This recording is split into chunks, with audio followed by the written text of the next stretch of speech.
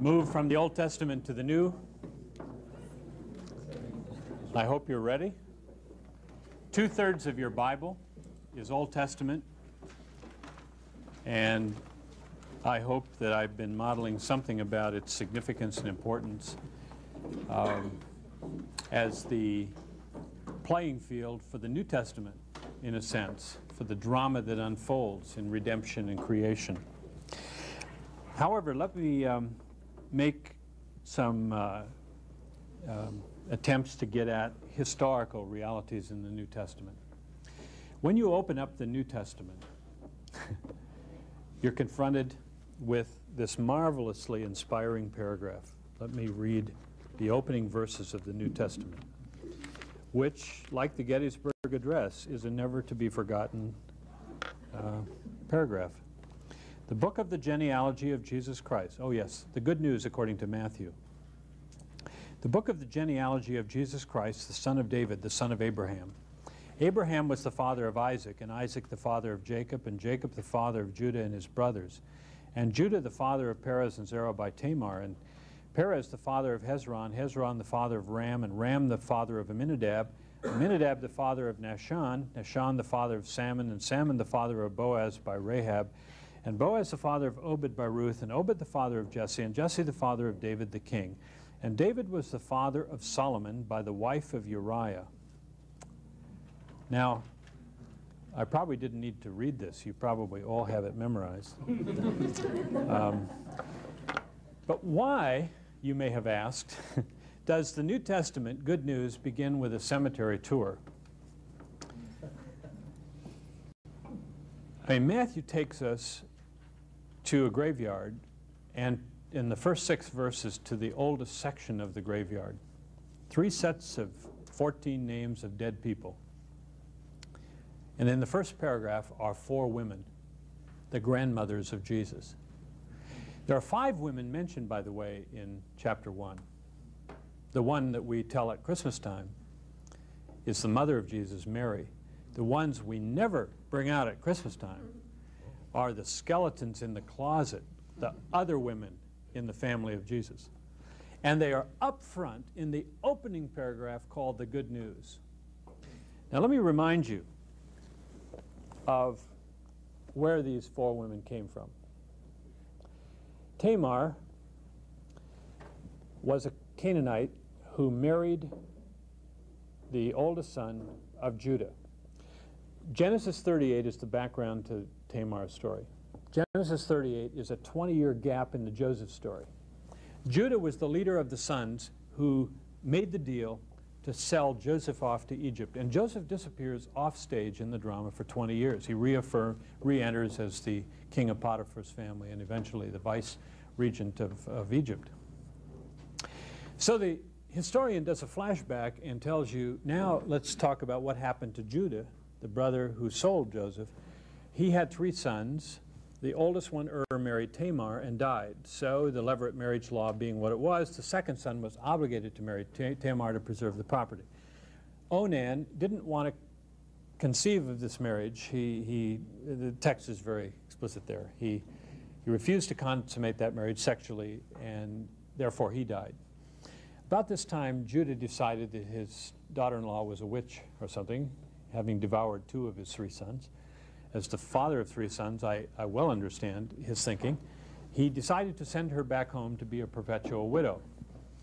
Uh, how long she disappeared, I don't know. But then finally the sheep shearing season comes some years later, and she takes some initiative. Tamar decides to dress as a prostitute and go down there beside the road, knowing her father-in-law is going to pass. And she makes a pass, and he uh, gets involved in an affair, a sort of pre-Jimmy Bakker sort of event. And some months later, the word comes to Judah, hey, Judah, here's a bit of news you may be interested in. Your, your former widowed, twice widowed uh, daughter-in-law is pregnant. And he was furious, chauvinist that he was. He said, bring her to me. He was very angry. And he said, who's the father? And she said, well, I'm not quite sure, but whoever it was left this credit card. Um, that was the signature ring, you know, because when Judah had this little enclave with her, he said, I don't have money to pay you, but here's my credit card, um, my signature ring. That's the credit card in the Middle East. And so, gee, she shows up with the credit card, and Judah is just devastated. And Tamar produces twins from her own father in law, which become one of them a grandfather of David, great grandfather of Jesus. Now, the second woman in the text, in the first verse, is um, uh, the matron of a hotel in Jericho. we know what kind of a hotel it is. The clue is in Hebrews 11 and James chapter 2, where she is called a porne woman. Porne? It's the root of the Greek word for pornography. To give you some idea of this hotel that she ran. Um, it's also, you know, the lights are low in those kind of hotels and nobody asks you your name. And so that's where the spies went to hide when they were infiltrating Jericho. And the Gestapo knocked at the door and said, Where are those foreigners? We saw them come in here. She lied and said, They went that way. She sent the, you know, the sort of CIA on a false trail. And then she called out these two spies and said, I've heard about your God and the Exodus and deliverance from Egypt. I want to believe. Now, it's very obvious that her faith had to save her. Her works would never have done it. right? And she, the second woman in this opening paragraph, um, she becomes a mother. She marries into the family tree of Israel and becomes a grandmother of Ruth and a grandmother uh, through marriage to another Boaz, not the same Boaz of the uh, but a different one. And she becomes then uh, the second woman in this text, Rahab. Now, the third one is Ruth. I've already told you the story of Ruth, the Moabite. The fourth one is Mrs. Uriah. Now, Mrs. Uriah was the father of David's number one soldier, Uriah the Hittite. Now, the biblical background to this story is 2 Samuel 11, where it was the war season and David was clearly in midlife crisis. As nearly as we can tell, he was about 47. Middle management had gone off to war, but being CEO, he was home and he was really bored. And life for him was like Pepsi without fizz, it, sort of flat. He was up on the roof and he saw this woman and he got involved, sort of another Jimmy Bakker or somebody kind of an affair. And then you have what we could call the Jerusalem Gate cover-up scheme in three stages.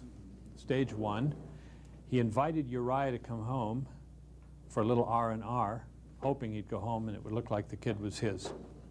Plan one failed. Uriah was too good a soldier to go home with all the other men on the front. So David, plan two, took him to the palace and got him good and drunk, hoping he would go home. He didn't go home. Plan three, is so dastardly you can hardly believe it of David. Uh, he, he wrote a letter um, of execution, which was that you fight all the way up to the wall and then quickly retreat. Now, in the ancient world, you don't fight up to the wall because all they have to do is drop a rock on your head and you're dead, you know. And it would look like an accident. Of course, that's what happened. And David then, hearing the news, Plan 3 succeeded, was able to marry the grieving widow, and the whole nation rejoiced in the midst of their uh, sadness that David has, the man on the dashing white horse, had solved it. But it was a cover-up scheme. There was some mole or somebody who uh, got the word, and the prophet got the word directly from God or through somebody else. Anyway, he exposed the whole plot. And the Davidic presidency came crumbling down like Watergate, hence Jerusalem Gate. Now, it's like four tombstones here, you know. Rahab, Tamar, Ruth, and Mrs. Uriah, who maybe because of deference to the king, her name is not mentioned, but we know who she is. Now, Jerome was the first one to do a sermon on this passage. He, Jerome in the fourth century looked at these four women and said, My goodness, they're all sinners. Right, Jerome. He said, I think that the point of their inclusion in Matthew 1 is to show the purpose of the grace of God in the heart of the gospel that Jesus Christ came into the world to save sinners like these women. I think Jerome was right. Luther looked at this same text, and Luther saw something that no one had ever seen before. And Luther said, all four women are foreigners. They are not only sinners, but you have two Canaanites, a Moabite and a Hittite. Luther said, it's not only that Jesus came to save sinners, but foreign sinners. This is about missions. Stephen Neill picks up on that and says, chapter 28 says, go into all the world and disciple all the nations, right? Chapter 1 tells you who all the nations are. Canaanites, Moabites, Hittites, and Jews. So you have an international bracket around Matthew's gospel. Obviously, there's more. Raymond Brown, writing on this, says, I think, I think Jerome is right, Luther's right. I see something more. I think as Matthew studied the Bible, he, he, he picked out every single scandalous marriage and birth story in the Old Testament, and he brought it all in one place as a gift to Mary, to be a kind of historical support group for Mary, who was having trouble explaining where her kid came from.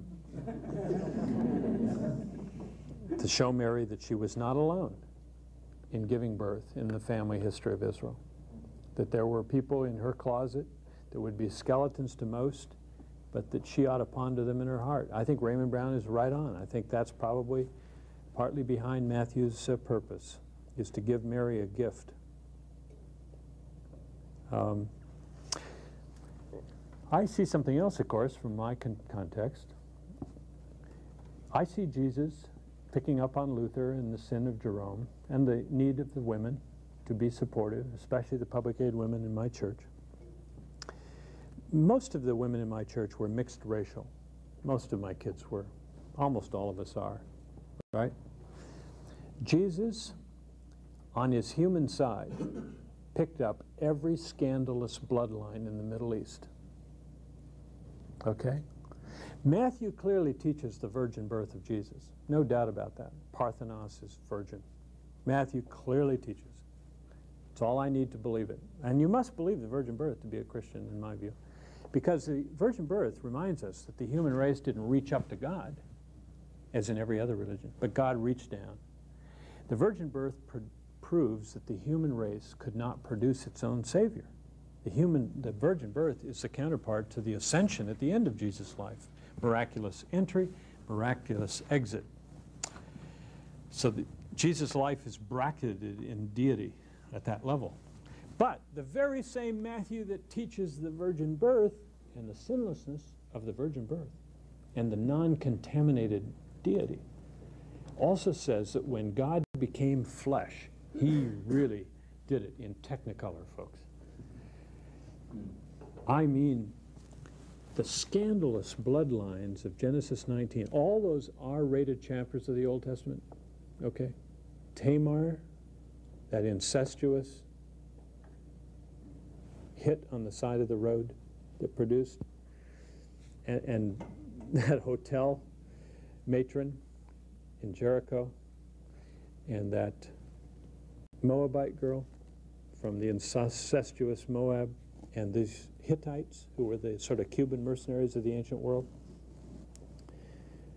that Jesus deliberately choreographed into his own body the bloodlines of all of the outgroups of the Middle East. Canaanites of the cursed race of Canaan in Genesis 9, Two of the mothers, grandmothers of Jesus were Canaanite. Imagine that. Cursed be Canaan.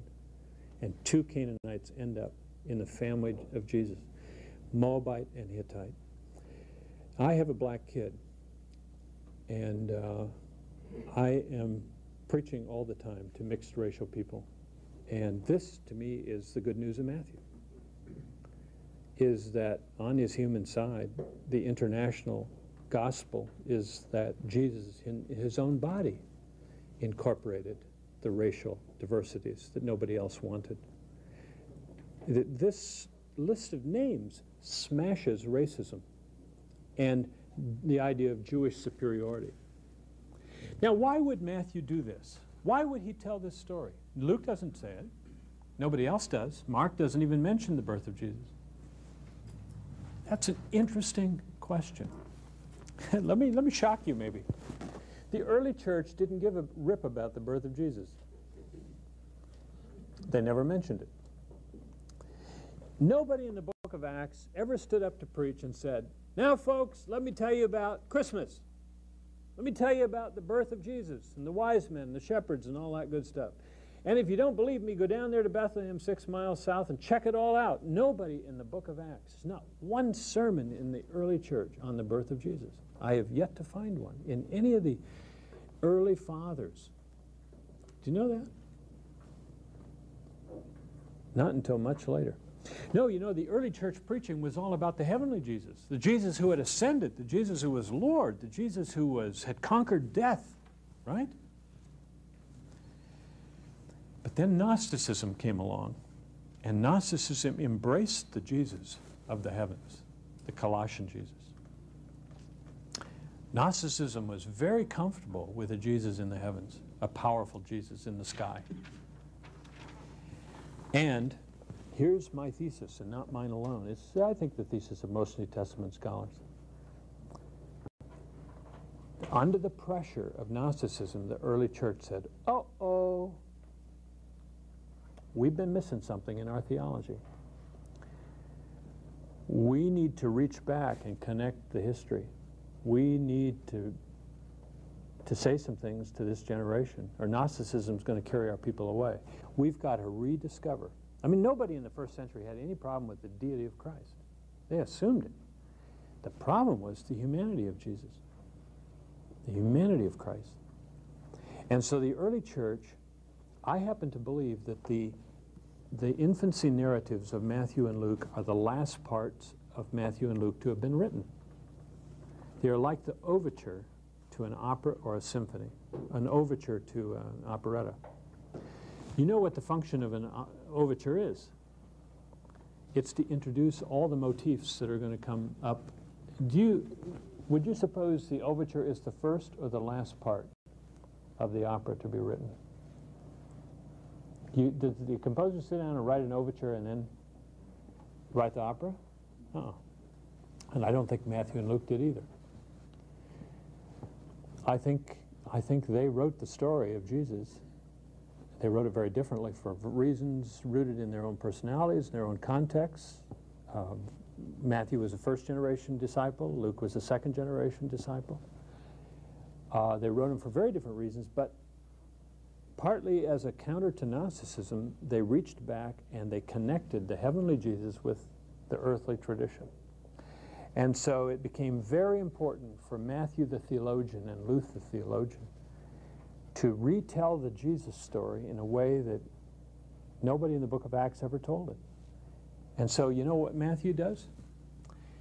He tells us about a Jesus who's a part of a political coup, uh, who has to flee to another country and go to Egypt. And Matthew tells the story of the exile in Egypt to connect it with the exile of the people of God in the Old Testament. And four times in Matthew 1 and 2, in the Joseph story, there are dreams, four times. Now, who was the great dreamer of the Old Testament? Joseph. And where was he? In Egypt. Matthew's an artist. He didn't invent this, folks. That's what makes me a conservative. Liberals might think he just invented it. I don't think so. I think Joseph did have dreams. I think, I think there were dreams. I honestly believe that. And Hebrews says God used dreams to inform people. I don't believe that um, this is a problem. Um, even Jung believes in dreams. Um, so I believe in dreams. Um, well, uh, Matthew retells the story of Jesus and has Jesus recapitulating the trip to Egypt. Out of Egypt I've called my son. The Jesus of Matthew goes through Jordan. After 40, he has 40 days in the desert one for each year Israel's in the desert. What is Matthew the theologian doing? He's, he's connecting Jesus the Savior to the history of Israel. And the genealogy does that, you see.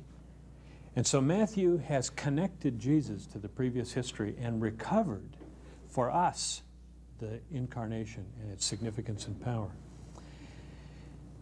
So the history in this in the New Testament is extremely important. This is good news, folks. It's worthy of memorization. Even though it is a cemetery tour. It's the theology of Matthew to take us on a cemetery tour. Because the rootedness of Jesus, the sinless Christ, in a mixed racial environment is good news in a world, in my neighborhood, where 60 nations are in the high school where my kids went.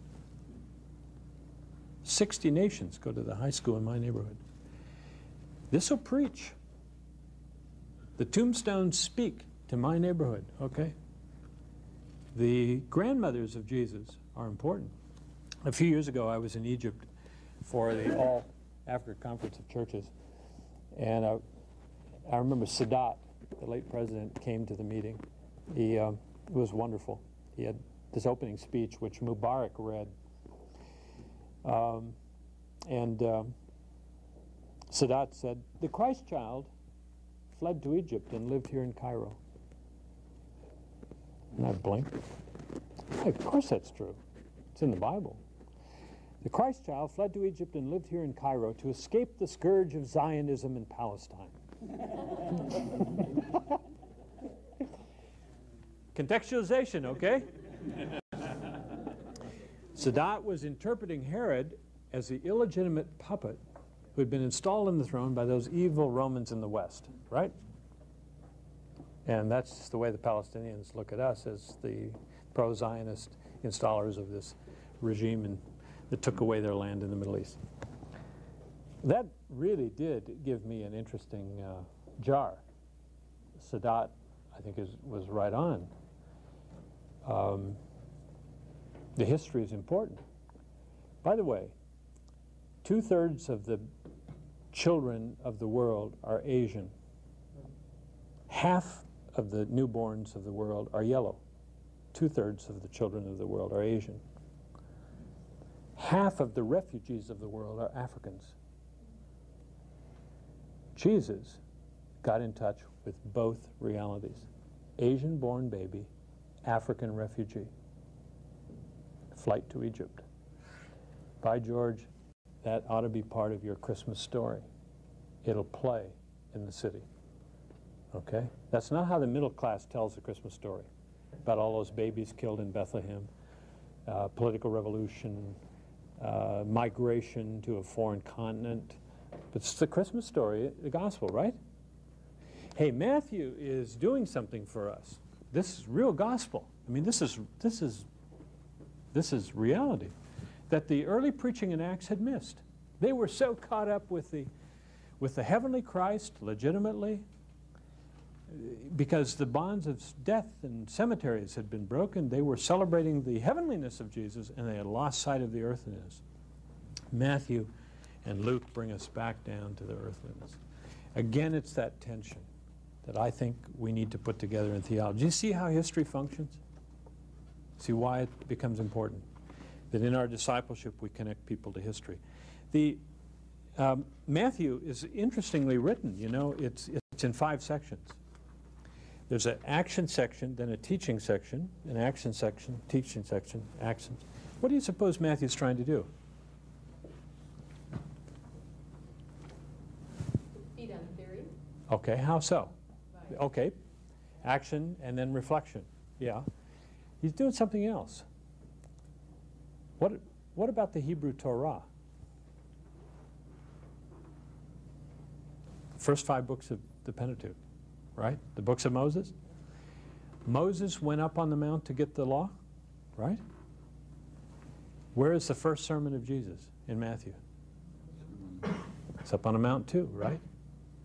And if you read Matthew 5 to 7 in the light of, as W.D. Davies, a rabbi who's written on this, says, you will understand that what Matthew is doing is recapitulating the new law of Christ on top of the old law of Moses. You have heard it said of old, da da da da da, but I say unto you, da da da da da. And so you have the five sections of the life of Christ, which is sort of a new law for Christians. A dispensationalists miss this totally, as they just take the whole book and throw it into a future uh, kingdom understanding. I think they miss, really. I mean, let's face it, we're all dispensationalists unless we're offering sheep today. but there is a sort of dispensationalism which just violates, I think, the whole genius of Matthew's understanding of, of the writer, uh, the writing and the history here, and its purpose and how we ought to read it. So there's a great deal of history here. Let me jump also into um, something that I have um, reflected on from Paul. You know that, at least I've said, and I think you probably know that Paul was a missionary and that you, you need to read Paul's letters and remember that they're half of a telephone conversation. You ever listen to somebody talk on the phone? And from the answers, you deduct what the questions are? That's really what's going on in Paul.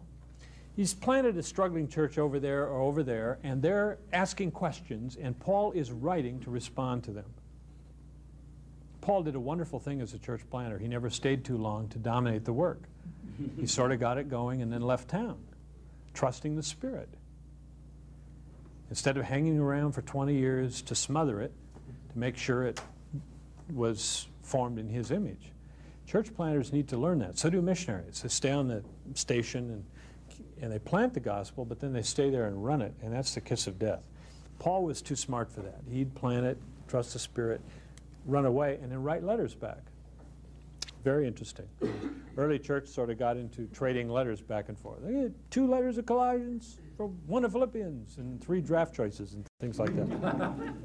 anyway, they would uh, trade these letters, and it's interesting to read the earliest letters. Romans 13, Paul has a very optimistic view of government. Right? Submit. Written probably just before Nero uh, took charge of Paul, rolled his head off via Appia. Peter is neutral about government. What is the Roman government when, by the time you get to Revelation 13, 30 years later? What is the view of government? Babylon. It's Babylon. It's the enemy.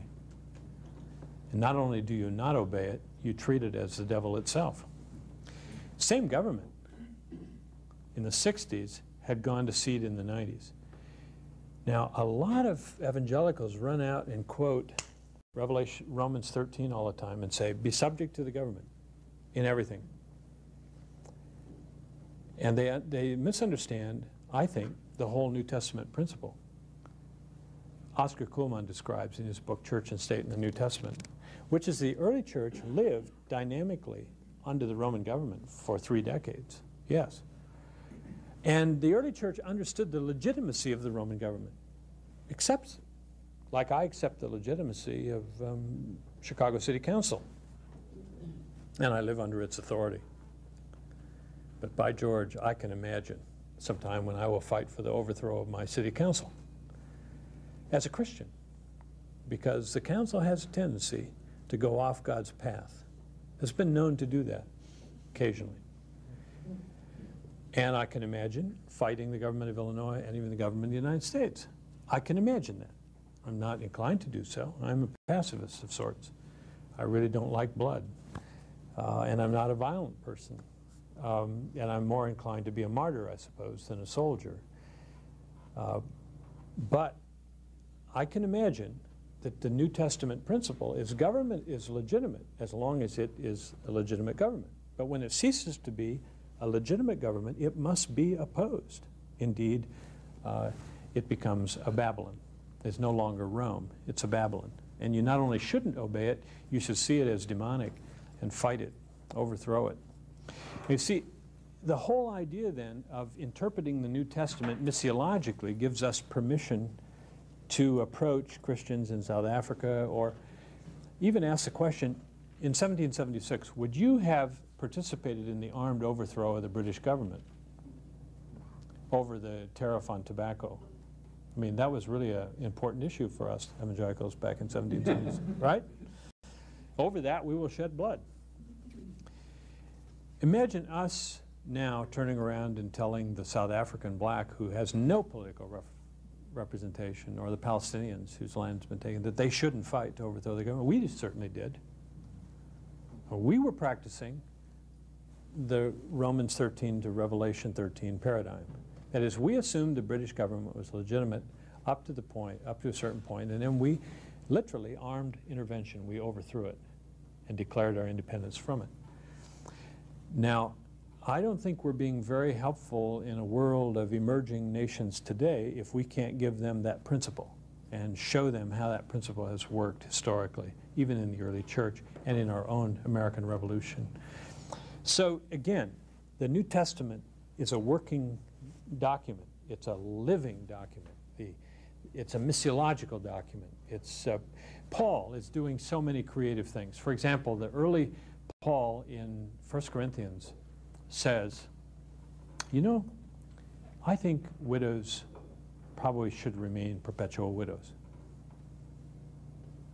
Um, ten years later, in the pastorals, Paul says, you know, I think widows should probably remarry. Now, what do you do with texts like that? Get nervous? Try to explain them away? Uh, or do you say, in 10 years, Paul had learned some things about widows in the church in the context of the Roman Empire, that uh, widowhood was not something advantageous after all, and that maybe the Lord wasn't going to come back as soon as Paul thought, and therefore he had to change his strategy. I'm not, um, I'm not surprised at that because, in fact, I'm very encouraged about it because I don't claim that Paul was inerrant. I claim the Scripture is inerrant. And by inerrant, I mean that the Bible always teaches what is true, even when it reports what is false. That's the definition I memorized at Trinity. It's that the Bible, rightly interpreted in its linguistic, historical, and cultural context, always teaches what is true. Now, it reports Satan's false philosophy. Satan's lies are documented, right? Job's false friend's false theory, their bad advice is documented accurately. Stephen stood up and made an error in his preaching in Acts 7. You mentioned the number of group people that went down to Egypt contradicts the Old Testament in Genesis. Luke, who clearly would have understood that, did not change the mistake. He recorded accurately Stephen's mistake. He reported the falsehood, but that's not what he is teaching. I think if we understand uh, the New Testament, we will have uh, documentation to help people in discipleship today. Look at the early church. The early church was mostly Jewish. And Paul went on a journey and a whole bunch of Gentile converts. Now, the early church has a problem. The Jews had sort of hoped that all the people would become culturally Jewish in order to become Christians. Sort of like go through the gate of the synagogue to get to the door of the church. They really had set the whole thing up that way. Paul went out to do that, got blown out of the synagogue, and went out and rented theaters and preached to people like he did in Ephesus and did a whole end run around Judaism. So there was a council in Acts 15 where they had to sort out the issue. What is the faith and what is not the faith? The culture. Acts 15 is an inventory on the gospel versus culture. And the early church there, said Martin Luther in his On the Councils and Churches, which he wrote in 1539, toward the end of his life, one of the most insightful commentaries on Acts 15 is Luther's reflection in that essay. Luther said, the first task of the church was to decide what the gospel was. And then, having decided what it was, what it wasn't. And it certainly wasn't anything about eating blood, meat offered to idols, and that had nothing to do with the gospel. So Luther said those are what the early church would call, or what Luther would call, love issues, not faith issues. So Luther said the early church was forced because it was becoming cross-cultural to sort out what is a love issue. Is hair length? Is that a faith issue?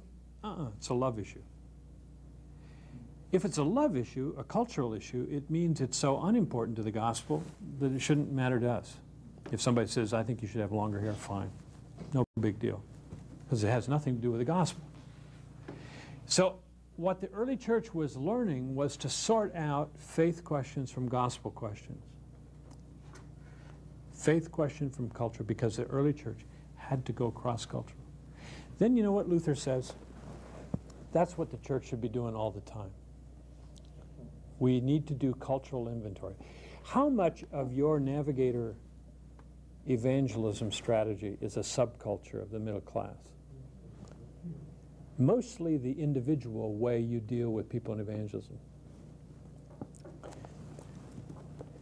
Have you ever reflected on John 4 when Jesus met the woman at the well?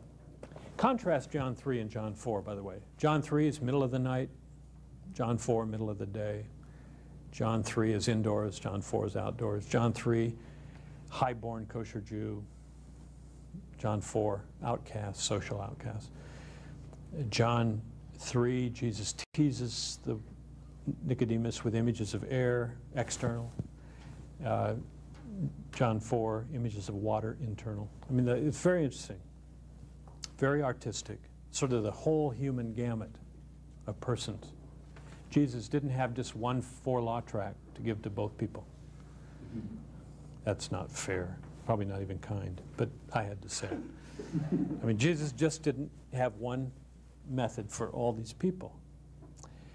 Uh, about the time the woman, by the way, Nicodemus' conversion is, um, John not only writes what the gospel is, but John also models all the different ways people come to Christ in the gospel. For example, Nicodemus, who comes to Jesus at night in John 3, cautiously defends Jesus in John 7 at the illegal meeting of the Sanhedrin, finally becomes a Christian when he sees the cross. The cross pushed him over the line, and he went and, along with his friend, secured the body of Jesus and buried it. That's his conversion. He was willing to identify with the death of Jesus. That didn't convert Thomas.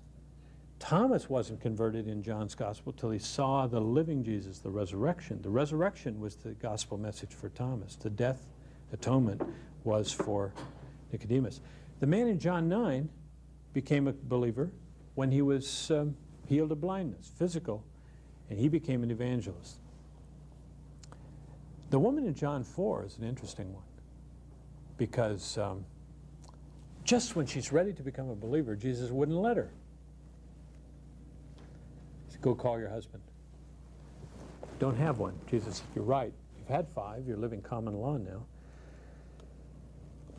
In that, Jesus understood Samaritan culture women don't make, in Samaritan culture, eternal decisions without their significant other relationships. You don't do evangelism cross-culturally in ethnic communities without the support system of the family. Jesus backed off, leading her to an understanding of himself to include her network. She was the Norma Rae of the village. You seen the movie? She was the gatekeeper that unlocked a whole culture. And Jesus knew it. By the way, in verse 42, verse 39 to 42 of John 4, which I hadn't seen for years, and I'd studied with Paul Little, Evangelism in Seminary. And he mentions this in How to Give Away Your Faith. He mentions, he has a whole chapter on John 4, and he doesn't mention what I'm going to mention to you. I hadn't seen it either. After she came to Christ and she brought the whole village to Jesus, then we have this little phrase. And he, Jesus, stayed with them for two days.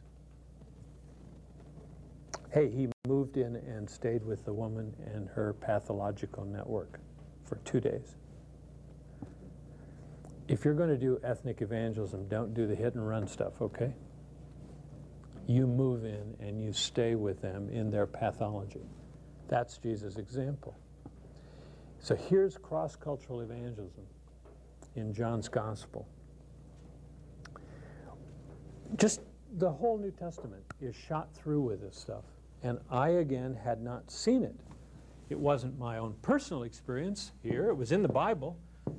And some of it wasn't even part of my church's experience. But when I was down here, again, my quadrilateral, when I started reading the Bible in my context, I said, yeah. The nickel dropped and the light went on on some of these texts.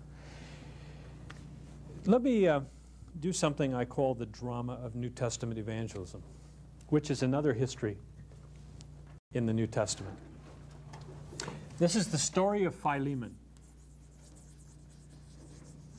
which I'm going to call the drama of New Testament evangelism.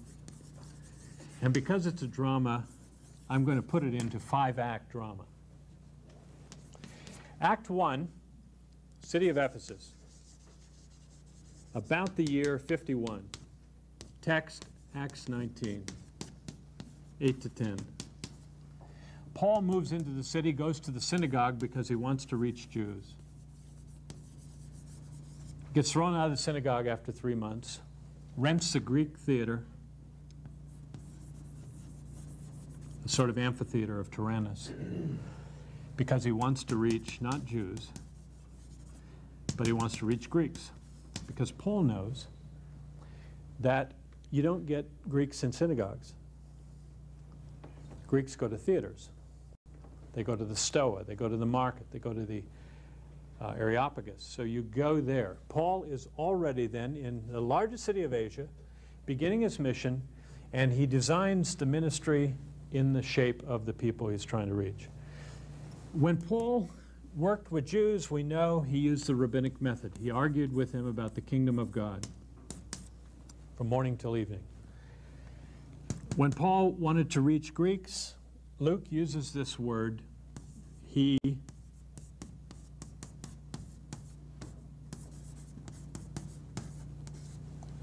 dialogumenos, from which we get dialogue, Socratic method. Questions and answers.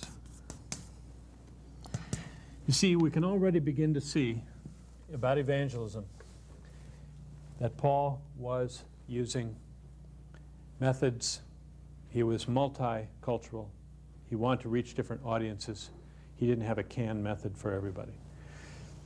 Philemon was converted sometime in the two years Paul spent here. By the way, Acts verse 8, 19 verse 10 says, and the gospel spread all over Asia. Paul didn't go all over Asia. This is Ephesus on the Mediterranean. This is Lucan hyperbole. Paul didn't go all over Asia. The gospel traveled all over Asia. Paul penetrated synagogues and theaters. The very nature of the city, with its harbors and its river running through it and so on, its regional, is that the city is a woofer and a tweeter of an amplifier system. Okay? You penetrate the city, the gospel will travel. Philemon lived in the Lycus Valley up here, Laodicea and Colossae, twin cities. 100 miles away, like Milwaukee to Chicago, he would come down and buy supplies occasionally, maybe for the opening of the opera or the theater season, I don't know. In the midst of that, he finds Christ. He goes back, and Act 2 carries us to the book of Philemon. Philemon, converted to Christ probably in this theater, goes back to Laodicea, Colossae, Philemon, verse 2, and we suddenly end up with a house church, with a church in your house. In that house church is a, is a slave named Onesimus who steals money, runs away to Rome to get lost in the crowd. Act 3 in the drama is Paul goes to Rome. Acts 28, 23 to 30 and Paul rents a house in South Rome. Now here's Rome, Latin Rome and Greek Rome. Paul had six associates, near as we can tell. Tychicus, Epaphras, Aristarchus, Lucas, Demas, and Marcus. They all have Greek names. Basically pretty convinced that Paul settled into ethnic Rome. Rome was the only city outside Xi'an, China that had a million people in the ancient world. And Paul had a kind of Leighton Ford reach out style. He was under house arrest. He was in the house, which he rented, verse 23, verse 30, for two years at his own expense. his associates would go out in the street, reach people, bring them back to Paul, and he would evangelize and disciple. One of the people reached in Rome is Onesimus probably around the year, if this is uh, the year 53, the planting of the house church, this happened, this would be the year roughly 63. About 12 years after the Ephesus crusade begins, Paul is in Rome. 12 years after leading a slave owner to Christ, Paul leads the slave to Christ, disciples him, and then writes this wonderful 330 word in the Greek text letter, which is the only private letter in the New Testament, and it's hand carried. It's written on a single sheet. I borrow a single 8.5 by 11 sheet from you. Right, it would all fit on this sheet. And after writing it, Paul, Paul sealed it up. By the way, it's a wonderful letter. The first three verses are a sort of uh, benediction. Paul begins benedictions at the beginning he says, Paul, a slave. Paul, a prisoner, rather. Paul, a prisoner. He doesn't say Paul, apostle, Paul, a prisoner. He's sort of evoking pity a little bit, I think. Verses 4 to 7, he butters up uh, Philemon. Philemon, you have no idea how much joy I get here in my imprisonment thinking about all the good stuff you're doing for Jesus why your prayer life and everything about you is just, just marvelous, you know. Just, it's such an encouragement to those of us who are suffering for Jesus here in Rome. Keep it up, my good brother. Verse 8, I mean, Paul has just been putting in the knife. Now he starts to twist it slowly. He says, now it's about Onesimus, my brother, my son, my son in the faith, my very heart. Uh, I'd like to keep him, but for your sake, I'd like him to come home. Now, I want you to treat him well. Treat him as though he were me. Um, by the way, if he owes you anything, charge it to my account. My Visa card number is. raises a question Does Paul have a line of credit in Asia? You betcha. The next phrase says, By the way, I remind you, you owe your very life to me. I mean, the, not very subtle, Paul, right? I mean, Paul the psychologist, this is a Paul that's not in any other letter. This is a Paul sitting in a sort of confinement writing this. This is all on behalf of a runaway slave. Now, then he says, by the way, perhaps this is why he ran away from you for a little while, so you could have him back forever.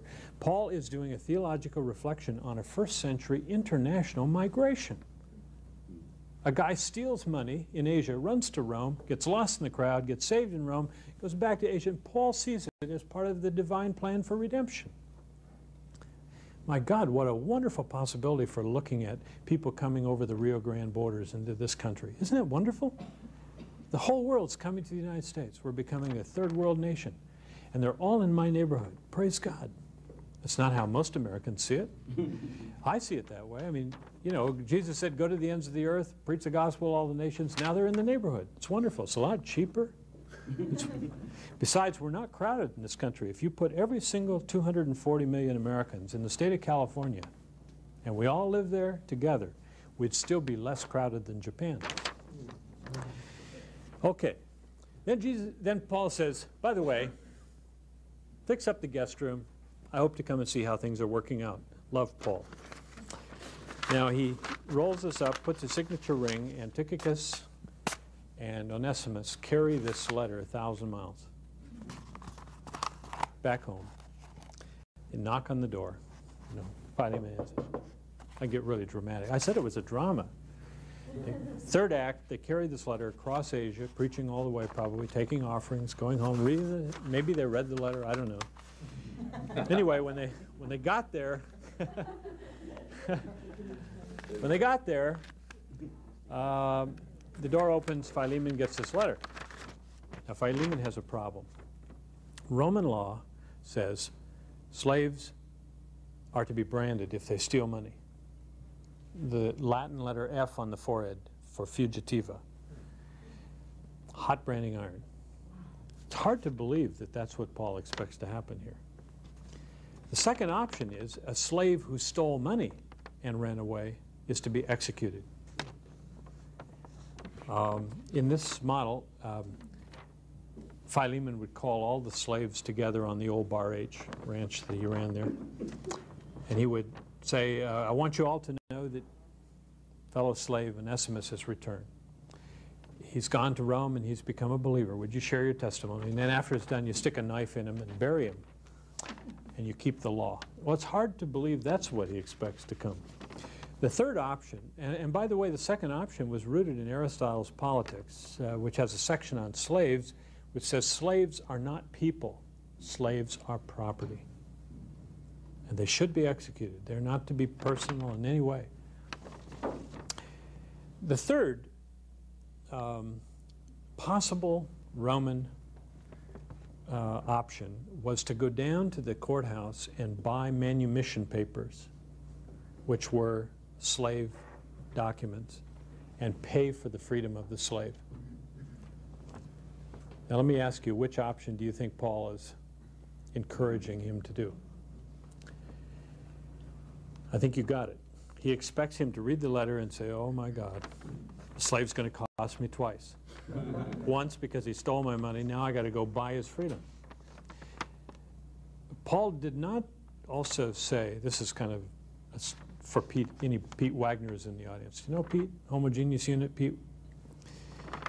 One of the things Paul did not say here was, I want you to start a church for former slaves on a back alley someplace. He didn't say that. I get the impression that this slave is going to be welcomed into the house church. And Paul, if you read the lines, is saying,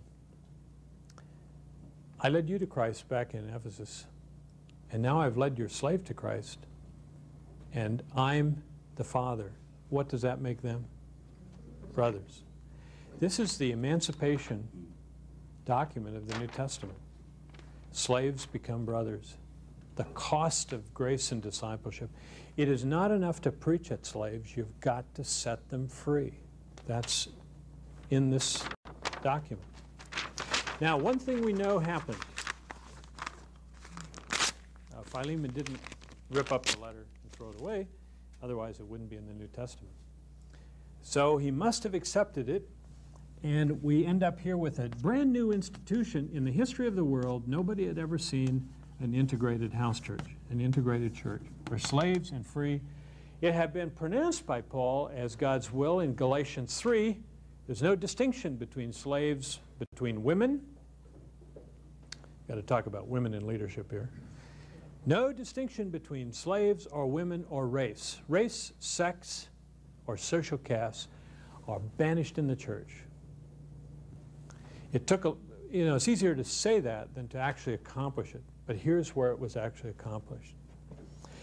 Now, at this point, Paul dies around the year 67. So, we're back now in Ephesus, or in Laodicea and Colossae. By the way, this is, I should call it the Reach Out, Urban Reach Out program. Which, and, and in Act 4, we have a house church that is integrated. This is the end of the New Testament. But I said there are five acts. Well, it so happens that there is a fifth act. Back in Ephesus, the year is 110, and the writer is Ignatius. And Ignatius of Antioch is pastor of, this is the uh, Early Christian Fathers, volume one of Library of Christian Classics. And I'm not going to read this now, but uh, we have the Ignatian letter. Let me tell you what happened. Ignatius was pastor of the great missionary church of Antioch in the year 110. He was arrested by Romans who were going to make a, a martyr of him, and they were marching him off to Rome. And everywhere he went, he was guarded, and every night he wrote letters for the Christians in that community. When he got to Smyrna, Ignatius wrote a pastoral letter to the church at Ephesus. And in that letter, he acknowledges the chief pastor, the bishop of Ephesus. And guess what his name is? Onesimus. Now, there's been a lot of scholarship on this question. Is this the same Onesimus? And the answer of Protestant and Catholic scholars like A.T. Robertson, the Southern Baptist, the greatest Greek scholar we've had in this country probably, and Fitzmyer, the current Catholic biblical scholar, editor of the Jerome Biblical Commentary and so on, is unanimously, yes, it's the same, for about a dozen reasons, which I won't go into. Except the one. The writer uses the same pun. He calls him the profitable bishop. Profit is the name Onesimus. Onesimus had ceased to be profitable to Philemon. And when Paul called him You're profitable, he was really jarring its cage because he wasn't very profitable. He'd stolen money and ran away. Paul, uh, Ignatius writes to the bishop of the largest city in Asia. Now, who is the bishop? The bishop is a former slave. Not only it's, it's not just any city, folks. Do you know who the pastor was until 96 AD? John, who was he was chief pastor of Ephesus until he was banished to, to uh, Patmos. Now let us suppose you're on the pastor seeking or search committee to replace the last living apostle. the beloved John. My God, you could put all the candidates in a phone booth. I mean, other than Billy Graham and the Archangel Michael, who, who could possibly replace the last living apostle? Imagine when the curtain opens in the year 110 we discover that 14 years after the beloved disciple, we don't know when he began, but the chief pastor of the chief city of all of Asia is a former slave, a refugee, intercontinental migrant. Now, this drama takes 61 years. And it's like a motif that runs through the whole New Testament. By the way, how did this little letter get in the New Testament? That's an interesting question. A.M. Greenslade, a British scholar, has worked on this issue. One thing we know, and that is that the early church passed around all Paul's letters and made copies of them, good and bad, and circulated them and traded them and, and so on. But we do know that Paul's letters were first collected in one place early in the second century and in or around the city of Ephesus. Let me ask you the obvious question. Who is the primary figure in creating the New Testament canon? A former slave. It's perfect solution for how the New Testament came into being. Because having been in Europe with Rome, in Rome with Paul, he knew all of Paul's associates. And now as the chief pastor of Ephesus, when Philemon died, who do you suppose ended up with that letter? I think, I have fun thinking this. I dream in Technicolor. That when, when this former slave, who's now the bishop of Ephesus, is putting together the New Testament, he slips this little personal copy of Philemon into the New Testament as the cover letter and a personal testimony of a slave who'd become a bishop, an intercontinental migrant, discipled in Rome, incubated in the house church, and now the leading bishop of the leading city of Asia. If that isn't a drama, I don't know what is. It just pulsates with the significance of evangelism, the intercontinental realities of evangelism, the, the way cities function, the gospel bounces from Europe to Asia and back and forth. The social witness it is not enough just to preach to your own kind of people. It's not enough just to preach. You've got to set people free. You've got to pay the costs of discipleship. And you've got to allow the poor people, the street people, to become your pastor. Right? It's all there, isn't it? It's all there in the drama. Would that our churches were as good as our gospel or our New Testament. This is the second shortest book in the New Testament. Only Second John is shorter. I think it has the biggest message in the New Testament. Um, it is a hermeneutical window that allows me to look at international migration today. I look at Chinatown, New York, I see every single province of mainland China lives in Chinatown, New York. And I say, my Lord, if an effective Chinatown ministry in this country were to happen, look at the impact a generation or two later back on mainland China. Think of the fact that there are now 34 mosques in Chicago. That's awesome. Most of them exist where the church used to be before it fled to Wheaton or Deerfield or other places. That's, you know, I'm being truthful. And Muslims are doing evangelism that we're unwilling to do. And that's scary.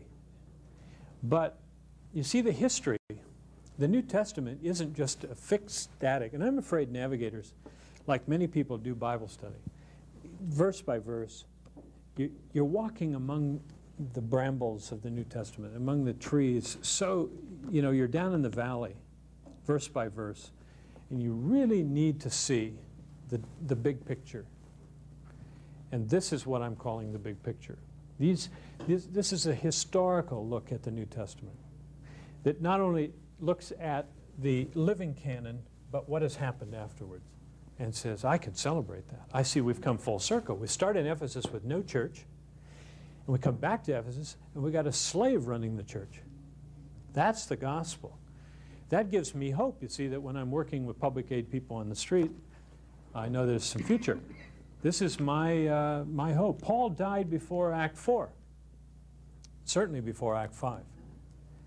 He, but you and I live on this side of Act 5. We see how it comes out we should have hope because we see the, the way the history works. I just have to tell you, these are the kinds of things that, uh, that keep me inspired and uh, interested in New Testament and seeing it historically. Let me, in the next, any questions about that? Any reflections, problems? We have about 20 minutes as I see it. Till noon, right? And you take your welcome break. I'm going to move away, I think, from the New Testament. I just, I mentioned Ephesians 4, the building up of the body, which has happened every generation. And I mentioned, of course, the two Christologies of Colossians and Philippians, one the transcendent Christ, one the local. The New Testament is just full of resources for dealing with world mission reality today, urban mission. History is one of the ways it gives us a framework for looking at the New Testament. I don't know how you feel, but the New Testament comes alive for me uh, when I start looking at this kind of drama. The little pieces of evangelism. I mean, windows. I have a whole new way of looking at my neighborhood, which is full of refugees. My neighborhood's full of refugees. They get off the plane at O'Hare on Friday. They go to school. My, my two, two of my three sons ran against each other for homecoming king in their high school. 60 nations in that school out of 223 nations in the world. When Woody beat his black brother, who was the quarterback and the athletic hero, and Woody was just a wide receiver and sort of a so-so athlete, I asked Woody how he, how he won. Oh, he said, Dad, I got the Arab, black, and Chinese vote.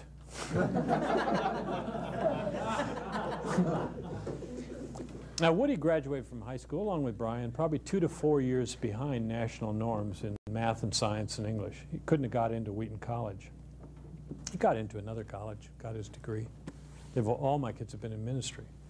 They all went to bad schools. And we're committed to sending our kids to bad schools uh, and raising them in this sort of neighborhood. I mean, they certainly had better schools than Onesimus had, but that's another story. Um, the fact is, I think while they may have been up to four years behind the ATC scoring kind of ways of looking at reality, probably two to ten years ahead in social skills, in ability to incorporate globalism and build cross-cultural relationships. I have to ask myself as a Christian, and my wife too, who's in a doctoral program, it's not that we're anti-education, but really what is important and what is Christian about raising kids today? Is it that they will get into a place like this? Or um, is it that they be faithful to Christ and, and, and if they are white especially, if your kids cannot internalize their minorityness, because two-thirds of the world, folks, 87% of God's earth is black, brown, and yellow. White is 13%. If you are educating kids Harvard level in a white world, I don't call that education. I call that escape. And that's unreality. The only way your kids can learn to internalize minorityness, I think, is to deal with uh, reality as it is. So therefore, I think you should live in neighborhoods where you are a minority and uh, where your kids can experience that. The city is where that can happen. But again, it's, it's books like this that give me perspective on that, you see, and help me read the New Testament in a way that gives meaning to the people I'm working with. This is a migration, an international migrant story. And it's the heart of the gospel for me. It's clearly Paul, wonderfully Paul. Uh, Paul the evangelist, Paul the discipler, Paul the integrator, Paul the multicultural person. And that's the vision I would hope uh, navigators would have, is to see your discipleship not in narrow one-on-one, -on -one, saved, lost terms, but in global terms. I hope you'll see yourself in terms of migrant streams and, and gatekeepers and look at all the different, by the way, Paul had a lot more methods than are here. When Paul planted the church in Philippi, he used women to plant it, remember? Uh, Lydia, and of course the, uh, the Philippian jailer was the man in the story of Acts 16, but then uh, two of the three original charter members were women. Uh, the Philippian church, which may have been Paul's successful church, was born out of a women's study group. And there's no hint that men ever took that church over in the New Testament. As a matter of fact, Euodia and Syntyche were the leaders of the church, and they were told by Yokefellow, who's clearly a man, that they should, he should help these women get along, not replace them in leadership. Um, very, very interesting, the New Testament use of women the women in the, in the Jesus story at the beginning of Jesus' life are all failures. The bad news ladies of Matthew 1. The women at the end of the life of Jesus are all winners. And all the men in the story are bad. Every single disciple forsakes and flees, and Peter, who's chief, and captain of the crowd, denies publicly Jesus three times under pressure. And the women not only funded those men, Uh, money may have been stolen from Joanna, by Joanna, whose husband was treasurer of Herod the Tetrarch. Uh, there's some interesting study on that. you ever wonder how these disciples went around and just, you know, sponged off Jesus and lived off the land? Well, they had these women who were feeding them money. They paid their way from Galilee down to Jerusalem. And when all the men forsook him and fled, the women were there, and they were there the morning of the tomb and became the first evangelists. Um, so the women at the end of Jesus' life were winners, the beginning of his life, losers. Jesus' life is bracketed around those women. Fascinating also to read how Paul incorporated women into his ministry. Well, let me just sort of bridge into what we'll talk about this afternoon, which is a 2,000 year sweep of the history. No, we're only going to go 1,500 years, or 1,400 probably. A little background of how the world was prepared for the coming of Christ. There's a marvelous line in Galatians 4:4. When the kairos was fully come, God sent forth his Son. Not chronos, when the chronology of time was fully come, but the kairos of time. Kairos is the Greek word for opportune time. chronological time is everyday time. That is, when the stage was fully set, God sent forth his son. Now, again, viewed historically, how did God do this? Think of how God sent Alexander the Great. 330 years BC, Alexander goes all the way from Western Europe all the way to the Indus River, comes back through the Gulf of Aqaba, and dies, having extended the British or the uh, Western rule of the Greeks all the way to the Indus River from the Isle of Britain. Along with that went Hellenism, a philosophy of Greek uh, thought, and language, the trade language I mentioned earlier. That meant you could go anywhere in the world without a visa. Uh, you could go anywhere in the inhabited world at that time, in the Mediterranean world and beyond. Uh, as a Roman citizen, you could travel on Roman roads. So the preparation of the gospel included the Greek contribution. And of course, the Romans came over the Greek Empire and they built roads, set up a law code, and uh, Pax Romana, they had a Roman peace. They, they sort of kept the peace for 100 years. I mean, imagine if there had been a war on the Parthian front, there wouldn't have been 5,000 people sitting around watching Jesus break the bread at Galilee. They'd all been drafted. Mean, sound may sound funny, but Pentecost wouldn't have had very many people if all those men had been out on the fighting front. The Romans, by organizing the peace for 100 years, Pax Romana, were actually contributing their part to the spreading of the gospel. The Jews, by getting themselves scattered all around the Mediterranean lake, 2,000 mile pond, and building synagogues wherever they went, taking their Greek Bible of the Old Testament, literally were setting up Pentecost. When the time was fully come, it's a wonderful text for a Christmas message. When God had used the Greeks, like Alexander, he had used the Romans, he had used the Jews, and now Jesus came. So that this little tiny country at the very tip of the Mediterranean world, far away from Caesar and power in Rome, from the periphery of the edge of the earth comes the gospel. Uh, Darby Nock, former professor of Hellenism at Harvard, made an interesting comment in one of his books. He said from about 300 AD to 300 BC, um,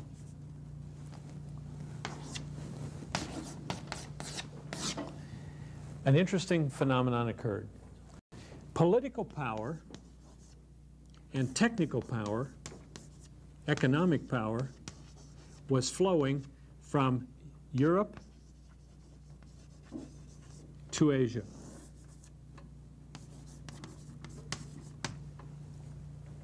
In other words, the Greeks and the Romans were in charge of the world, and they were conquering Asia. Ideas were flowing this way from Asia to Europe. This went on for 600 years. Christ is in, right in the middle. Now, let me ask you the question did Christianity come from east or from west? Did it come as part of the power game? Or did it come as an idea, as an ideology, along with Mithra and Gnosticism and all those other ideas? It did. Now it's very interesting to ask the question, who, who won? Did, did the West win or did the East win a 600 year war? The East won. And Europe was conquered by ideas from the East.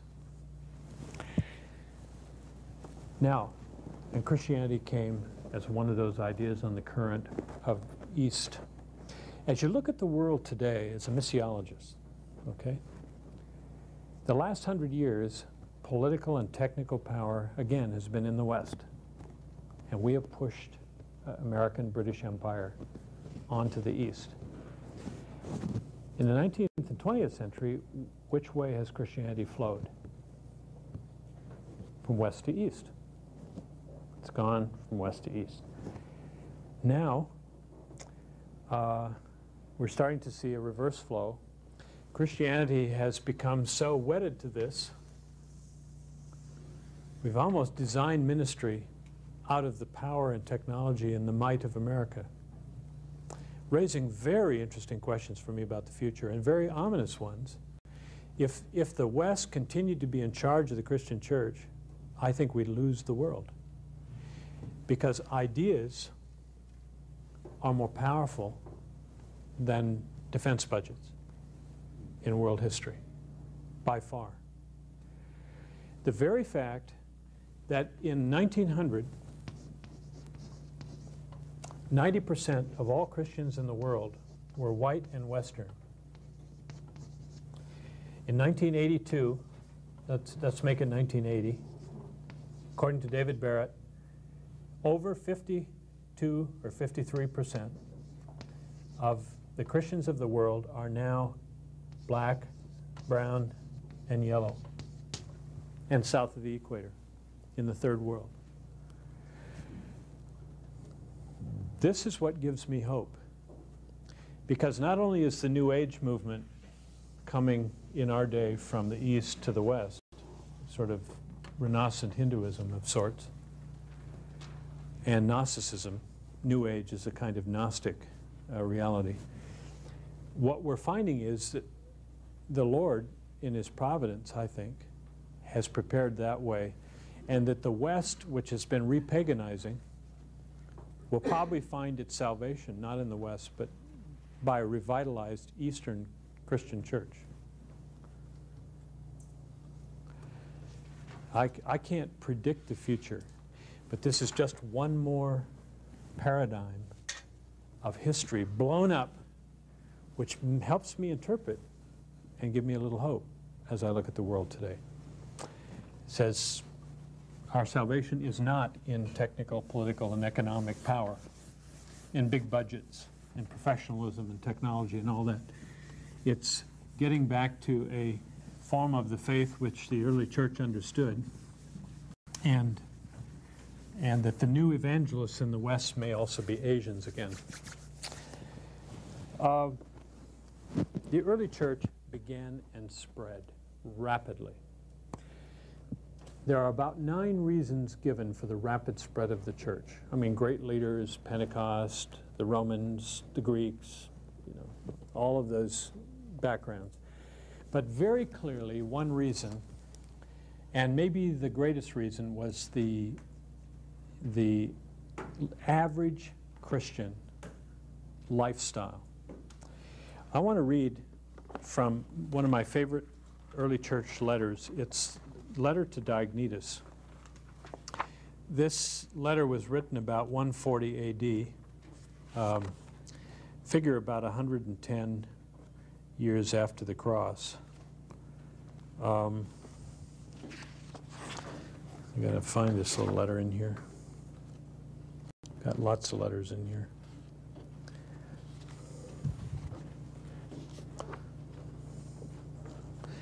Um, again, just like Paul wrote letters, the early Christians wrote letters.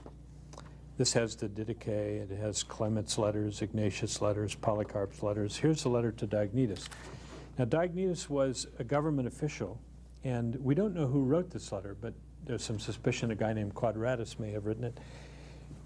Chapters 5 and 6 of this letter describe Christians in the world. Let me read to you what this letter says about how Christians lived. For Christians, this is to a government official. By the way, Christians are being persecuted in the early church. We're now 100 years after the cross, all right? And the Christians are trying to explain to the government officials why they shouldn't be persecuted. They're saying, you don't understand. We're the best citizens you've got. You just don't, you've misread us. So here's how he talks. For Christians cannot be distinguished from the rest of the human race by country, language, or customs. They do not live in cities of their own, like Bibletown, Wheaton, Pasadena, etc. They don't live in cities of their own. They, they do not use a peculiar form of speech. They do not follow an eccentric manner of life. This doctrine of theirs has not been discovered by ingenuity or deep thought of inquisitive men, nor do they put forward a merely human teaching, as some people do. Although they live in Greek and barbarian cities alike, that's the only two kind of cities Greeks knew about, were us and them, Greek and barbarian, as each man's lot has been cast, and they follow the customs of the country in clothing and food and other matters of daily living. You see, the early church was living cross-culturally. At the same time, they give proof of the remarkable and admittedly extraordinary constitution of their own commonwealth. I mean, they're living in Chicago, but they're not citizens really of Chicago. They're living in the United States, but they're really not citizens in the, they belong to another commonwealth. They live, this is a wonderful quote, they live in their own countries, but only as aliens. They have a share in everything as citizens, but they endure everything as foreigners. Every foreign land is their fatherland, and every fatherland is their foreign land. Isn't that wonderful? This is far from Falwell and Ollie Northism and the sort of wrapping the gospel in an American flag and delivering it to the world. This is, this is a, a worldview which some aspects of the evangelical church in this country have forgotten. They marry like everyone else and they begat children, but they do not cast off their offspring. That was Roman birth control, just throw the kid away. They share their board with each other, but not their marriage bed. It is true they live in the flesh, but they do not live according to the flesh. They busy themselves on earth, but their citizenship is in heaven. They obey the established laws, but in their own lives they go far beyond what the laws require. They love all men and are by all men persecuted. They are unknown, by all condemned. They are put to death, and yet they are brought to life. They're poor, and yet they make many rich. They're completely destitute, and yet they enjoy abundance. They are dishonored, and their very dishonor are glorified. They are defamed and are vindicated. They are reviled, yet they bless. And when they are affronted, they still pay respect. When they do good, they're punished as evildoers. Undergoing punishment, they rejoice because they are brought to life. They're treated like Jews, as foreigners and enemies. They're hunted down by Greeks. And all the time, those who hate them find it impossible to justify their enmity. Now here's chapter 6. To put it simply, what the soul is to the body, that Christians are in the world. Okay? Conscience of the world, that's us. The soul is dispersed through all the members of the body, and Christians are scattered through all the cities of the world. You can see why I love this. in, in two chapters, three times, cities are mentioned as the na natural in places of habitation of the early church. The soul dwells in the body but does not belong to the body. The Christians dwell in the world but do not belong to the world. The soul, which is invisible, is kept under God and the visible in the same way. Christians are recognized when they're in the world, but their religion remains unseen. They're not doing all kinds of things just to say, oh, what a wonderful group Christians are.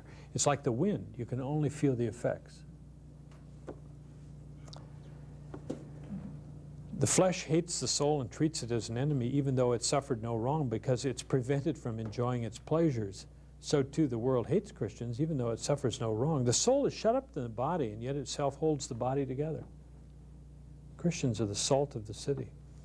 The soul, which is immortal, is housed in a mortal dwelling. Christians are settled among corruptible things. The soul, when faring badly as to food and drink, grows better. So too Christians, when punished day by day, increase more and more. Now here is the verse that you should memorize after you've learned John 3.16. It's Diognetus 6.10. The last verse in chapter 6. To no less a post than this hath God ordered them, and they dare not try to evade it. To no less a post than this, that is, living this way in the ancient world, to no less a post than this, this is the normal Christian discipleship. And to no less a post than this, has God ordained, and we dare not try to evade it. Now, I know a lot of people say they want to be like the early church. They really have no idea what they're saying. the early church was made up of mostly artisans, freedmen, and slaves. Uh, E.M. Judge, in his book, Social Patterns of First Century Christian Groups, has talked about that. Christians were garbage collectors, and they go through the garbage and pick out the bodies, and they would wash them and bury them. Even the bubonic plague victims and the burn victims, they would bury them. You know why? Because they were the only people who believed in the resurrection, even of the unjust. Imagine garbage collection strategies for evangelism.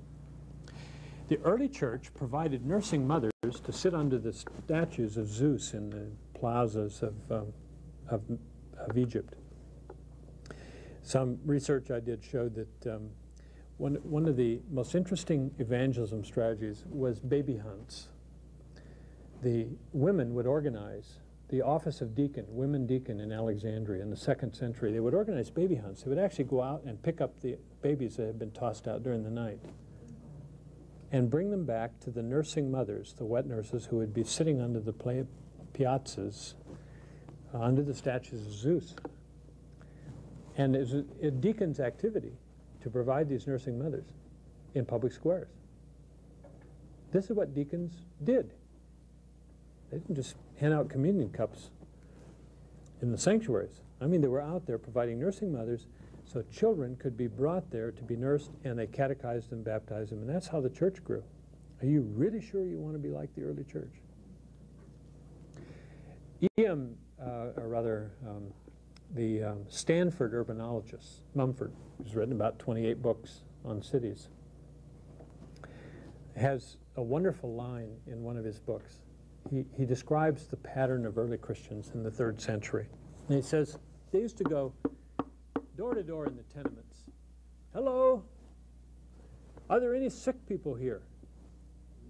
And they would move in, offer to move in, and nurse them until they got well. They literally went after the sick and offered to move in. And, and here's what Mumford said instead of min ministering out of images of success, early Christians looked for misery human misery and transformed it into occasions of fellowship and love. That's powerful. Imagine going to look for the sick, deliberately exposing yourself to their illnesses to share the love of Jesus. Tertullian, writing about the year 200 in his 37th and 51st apologies, flaunts the emperor. He taunts him. He says, We, meaning Christians, here's a layman now, the guy who invented the word Trinity. He says, We, meaning Christians, have filled up every place belonging to you, meaning pagans. Islands, castles, caves, market, senate, prison, palace, forum, we leave you your temples only. I mean, Christians, by the year 200, had literally penetrated every level of society. That was how evangelism was done. I, um, Kenneth Strand, a Scottish scholar, um, some years ago, wrote an essay on the nine reasons why the church spread. And he concluded, and I agreed with him, that the power of the early church was not their preaching. They never did rent the Colosseum and have a Billy Graham crusade. They never did. They never did mass meetings. They weren't allowed.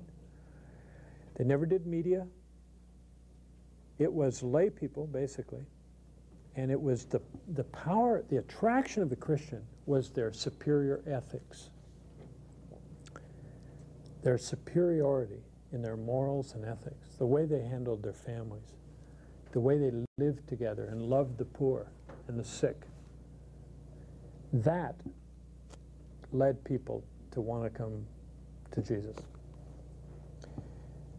And I'm convinced that um, that's a piece of evangelism that we must recover if we're going to win the country. I, I can't tell one whit of difference between Christians and non-Christians in this culture anymore. Hardly any different. Same number of pregnancies among unwed mothers, same drug problems, same family divorce issues, almost indistinguishable. The rich are moving away from the poor, if they're Christians, almost faster than, than the um, non-Christians are moving away from the poor. Um, I think um, reflections on this history uh, give me some clues as to the way out. The question is, will we pay the price? Will we pay the price? Well, it is time to go, and uh, we need to come back about 1.30. What we'll be doing the next couple sessions is basically a, a trip through the centuries, reflection on pieces of church history until the Reformation. See you about 1.30.